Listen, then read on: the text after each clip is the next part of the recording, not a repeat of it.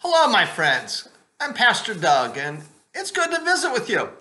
You know what? This is my last uh, my last time uh, to talk with you in 2021, and uh, say uh, how quickly the year has gone.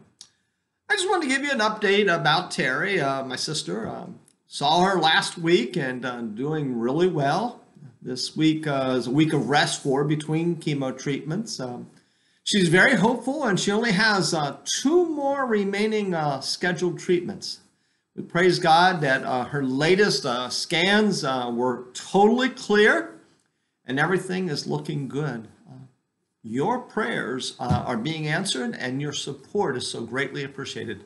On behalf of Terry and myself and all the family, we thank you for your support through your prayers.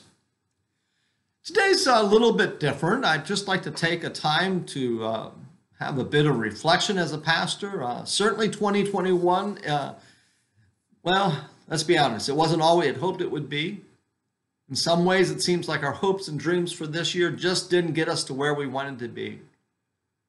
But then as I thought about that, as I prepared for today's video, I'm thinking, well, maybe I'm just being a bit short-sighted. And so I want to just take time uh, to share with you uh, some things that, that uh, I reflected about. And through thinking about today, I want to give thanks and encourage you to do the same. So here's what I want to be thankful for as we close out 2021. I give thanks that the COVID vaccine became widely available and the subsequent boosters. I'm thankful that while the battle lingers and cases are on the rise, we know more about this terrible virus and that there are many, many treatments available to help the sick. I'm thankful that while too many loved ones lost their lives, we have found ways, some creative ways to comfort one another, and we have shown ourselves to be resilient as we pressed on with the help of each other and especially with God's help. I'm thankful that we were able to return to in-person worship. And you know, I'm so grateful for the, minist- the amazing ministry that our streaming team did. But I'm also so glad to once again greet everyone and to enjoy that wonderful time of fellowship uh, after the services. I am so grateful um, that we had an amazing vacation Bible school this year I think what's really impressive, um, you know, it's not always about numbers, but we had more children this year than we did pre-pandemic. Um, I think the children were just so hungry for for learning and fellowship with other kids, and um, I know that the staff really enjoyed uh, sharing with the children of our community.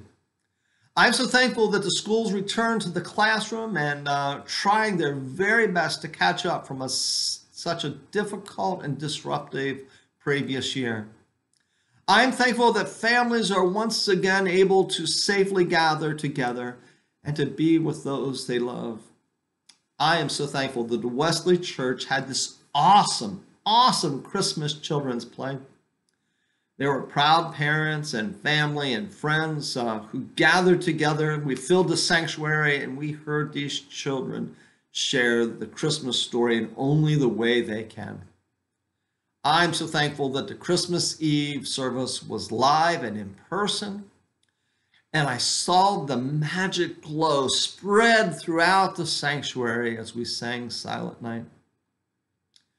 And I'm so thankful that as we approach 2022, I believe we have every reason to be more hopeful and for us to be able to move beyond this pandemic in the year ahead and focus more on life enriching endeavors.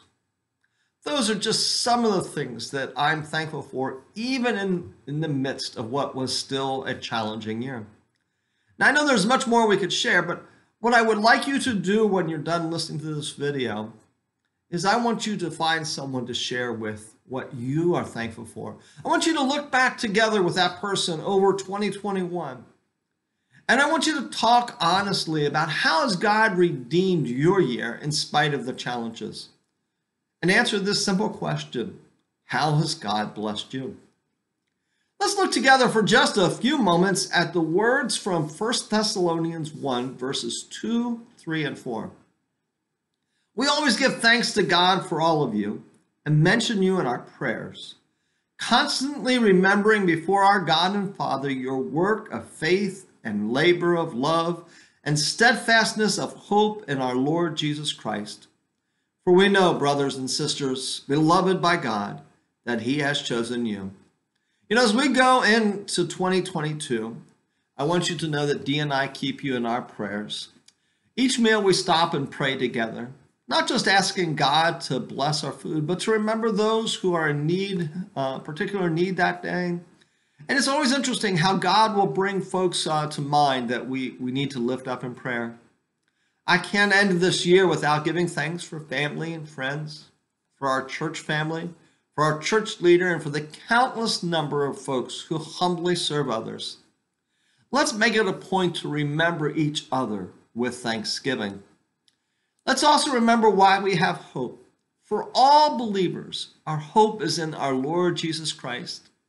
It is Jesus who came in Bethlehem and who would ultimately journey to Calvary, who will take our fear and sin and give us hope.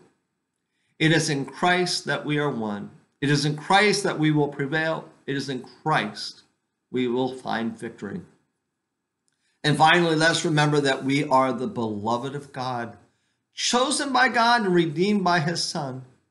For God so loved the world that he gave his only Son, that so that everyone who believes in him may not perish, but have eternal life.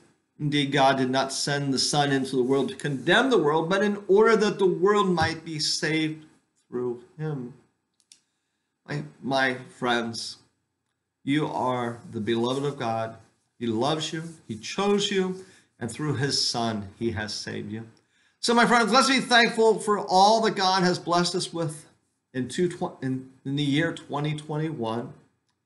Let's be hopeful knowing that we are His beloved as we move into 2022. Dee and I wish each of you a blessed and a happy new year. Amen.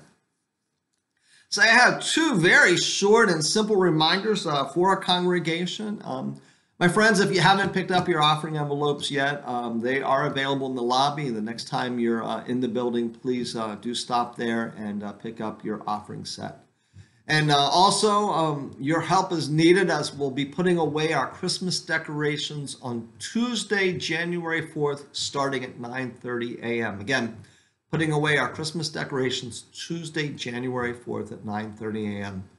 Always, my friends, more hands makes easier work. Well, let's close this time with a word of prayer. And uh, again, I have always enjoyed uh, this time together with you each week. And I pray that uh, there are things that I share with you that not only get you thinking, but uh, help lift your spirits as you work through your week. Let us pray. Loving God, from the depth of my heart, I thank you for all that you have done for us this year. I want to thank you for how you redeemed many difficult times and reassured us that you were with us and you would take care of us.